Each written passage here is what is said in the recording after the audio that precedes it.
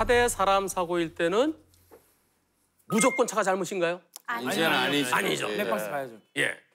그럼에도 불구하고 이번 사고도 차대 사람 사고이기 때문에 무조건 차가 잘못. 차가 잘못이라고 했었습니다. 같이 보시죠. 자, 신호 바뀌었고요. 천천히. 천천히. 빨리 가지도 않으셨어. 천천히 가시고.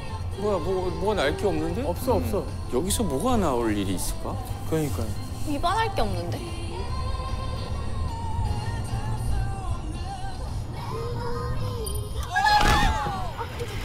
시간인 것 같은데? 쓰러졌다. 네. 이게 뭐야? 시간인 것 같은데? 시계기야. 아 이게 뭐야? 힘들어. 와 머리부터 떨어지는 거. 와, 아니 사람이 저리 갑자기 들어오면 어떡해? 아니 인사하면서 들어왔어. 어디? 이 사람 이 사람 이 사람 이 사람 이 사람. 취한 것 같은데? 달려드는 느낌이에요 거의 이건 차에. 저거 미리 보였을까요? 아, 아예 안 보여요, 선생님. 이게 어떻게 봐요? 그거 안 보이지. 어떻게 봐? 어떻게 봐? 예상을 못 하죠 이건 그냥 백대빵 같은. 경찰도 이거는 뭐라고 안 할 것 같은데요? 솔직히 이거는. 아, 경찰이 네. 아, 이거 이거 못될것 같은데요. 네. 그러면서 행정 처분은 안 하겠다. 아. 벌점과 범칙금은 부과하지 않겠다. 당연하죠. 당연한 당연한 거고요. 얘기를. 왜. 예. 그러나 그러나? 그러나 상해? 차대 사람 사고기 때문에 아 말. 차가 가해자다. 어쩔 수 없다. 그건 아닌 거. 아니 사람이 달려들었는데 뭔 저런 게 대박사는 잘못 있다 그러면 저희 운전하는 사람들은 거리를 나갈 수가 없어. 맞아 맞아. 이분이 전 22년 1월 21일 사고였어요. 그리고 판결 선고 2024년 1월 19일 2년 걸렸어요. 합의금도 받아야 돼. 스트레스 얼마나 받았겠어요? 합의금도 받아야 돼. 합의금. 진짜 스트레스 보상. 말이 안 되는 타이밍에 쓰러지셨지? 지금도 저는 제가 가해자가 왜 됐었어야만 되는지 이해를 못하거든요. 이런 이런 초등학생이 봐도 알 것 같은데 이거. 진짜 너무 억울하다. 저도 이번에 인사사고가 처음이었거든요. 음. 경찰서에서 연락이 오셔가지고 이제 이분이 술을 마- 너무 많이 드신 것 같으시다고 말씀을 하시더라고요. 에휴, 술 때문에 진짜. 제가 궁금한 거는 가해자 피해자 구분은 어떻게 되는 거냐고 경찰관님한테 제가 여쭤봤죠.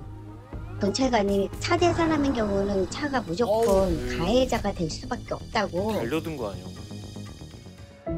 아, 그러면은 차량이기 때문에 가해자라고 할수 사람이 없는 때문에 거예요. 당연히 가해자죠. 뭔 소리? 당연히 가. 보행자를 가해자 할 수는 없어요. 아 진짜 좀 뭐야? 대한민국 교통경찰관 중에 아무도 없을 거예요. 에이. 어? 에이. 어? 저런 왜게 전체를 있구나. 다 얘기하세요? 왜? 예. 왜 이런 상황에서 제가 가해자가 되는지 저는 납득이 안 된다. 진짜. 술 먹고 도로에 넘어졌어요.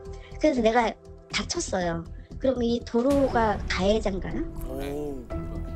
저도 그거와 마찬가지로 그냥 제한 속도 지키면서 그냥 가만히 가고 있는데 사고가 났는데 왜 제가 저한테 가해자를 하고 내가 잘못했다라고 하니까 그게 너무 답답한 거예요. 오히려 반대로 피해자 아니야? 피해자죠. 계속 경찰관님한테 전화를 하고 보험사에 전화를 하고 근데 양쪽은 다 같은 말만 반복했어요. 경찰관은 사람과 차 대면 차가 무조건 가해자고 이거는 바뀌지가 않는다. 보험사는 공권력의 판단이 중요하다. 관행이야. 그냥. 언제까지 저럴 거야? 내 편이 돼주는 사람이 없는 거야. 아무도 없구나. 믿고 보험 들고 다 했는데. 그니까 그니까. 경찰관님이 도로교통공단에 정확한 뭐 사고 분석을 의뢰하고 2022년 4월 6일 날에 제동을 했어도 피할 수가 없는 뭐 불가항력이었다. 아니 보면 아는데.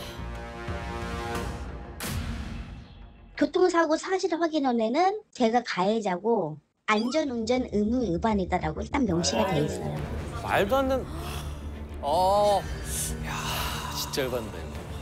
너무 억울한데. 그리고 수사 결과 통지서에서 불송치, 혐의 없음이 한 장에다 얹혀진 거예요. 혐의 없어요. 혐의 없음. 구송치. 만약에 저한테 과실이 잡히면 저는 절대 인정하지 않을 거라고 얘기를 했어요.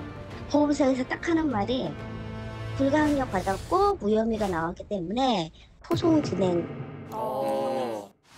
보조 참가 신청서 제출해달라. 저 보조 참가 하겠다. 시간도 되게 시간이고. 적극적이시다. 그러니까 너무 스트레스 받으시죠 가정이. 2023년 8월 25일 날 1차 변론이 있어서 이제 법원에 이제 아, 갔죠. 1년 반이 가는데. 오래 걸렸어.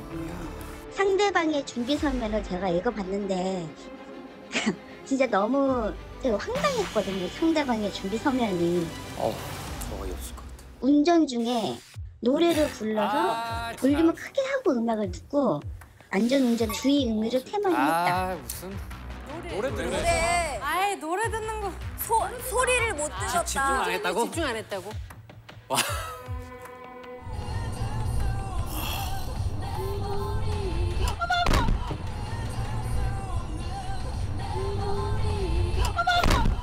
진짜 몇 마디 몇 초 흥얼거렸을 그냥 따라 부르는 건데 앞에 전방을 주시를 안 해서 사고가 난 거라고 딱 그렇게 얘기를 하니까 memories 때문에. 진짜 너무한다. 그리고 두 번째는 아주 이용하는 도로라 보행자가 튀어나올 수 있는 상황을 충분히 예견할 수 있는 상황이었다. 어? 횡단보도가 있는데 거기 그 거리를 누가 무단횡단을 하겠냐. 저런 사람 잘 없지. 상대 측 아니, 변호사 너무하네. 저런 그래서 이제 2차 변론을 진행을 하게 됐죠. 아, 야 진짜 오래 진짜- 걸렸다. 이제 재판은 끝났고 두 달 정도 있다가 이제 최종 판결이 나서 어떻게 났지? 원고의 피고에 대한 채무는 존재하지 아니함을 확인한다. yes. 당연한 얘기를. 부당이득 반환 청구에 대한 판단. 와 저렇게 많이 나왔어요? 아 그때는 진짜 와 이게 당연한데 왜 내가 왜 2년을 걸렸을까? 내가 그동안 뭘 했던 걸까 뭐 이런 생각이 든 거예요. 이게 당연한 결과를. 아, 2년 동안 너무 마음고생했겠는데요. 당연한 거를 당연함을 받아들이기까지 너무 오래 보상해줘야지. 걸려요. 2년이 걸렸다니 어. 말이 돼요.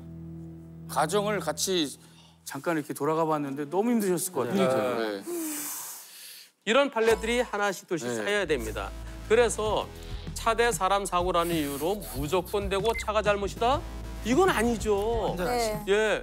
근데 저는 다른 것보다도 저 노래를 따라 불렀다고 뭐라고 하는 게 가수 된 입장으로서 참 억울해요. 아, 우리가 보통 노래 연습하기 좋은 곳이 어딥니까? 샤워실, 차, 혼자 있을 때. 맞아. 노래 다 부르잖아요. 운전할 때 노래 완창해요, 완창. 아, 그러니까요. 근데 그것도 좀 따라 불렀다고 그거를 또 태클을 거시니까 이거 참 억울한데요. 이번 사고 문제는 여기에 있습니다. 여기 뭐라고 돼 있어요? 안전운전 의무 위반. 위반. 사고 원인 안전운전 의무 위반. 경찰청에서 여기다가요. 사고 원인 위반 사항 없음. 그거를 그냥. 써라. 그래요 맞아. 예, 위반 사항 없음도 쓸 수 있다라고 지침을 내려보냈어요. 위반 사항 없음 그러면은 보험사 직원들이 어 위반 사항 없네. 그럼 취업이 안 돼주면 되거든요. 그 쓰기가 어려운 우리. 조사관분들이 모르시는 것 같아요. 아. 어, 이제 같더라도 그러면 좀 방송 보시고 많이 그렇죠. 아시게 되지 않을까? 예. 안 보시나 우리 방송? 안 보시나? 보셔야 돼.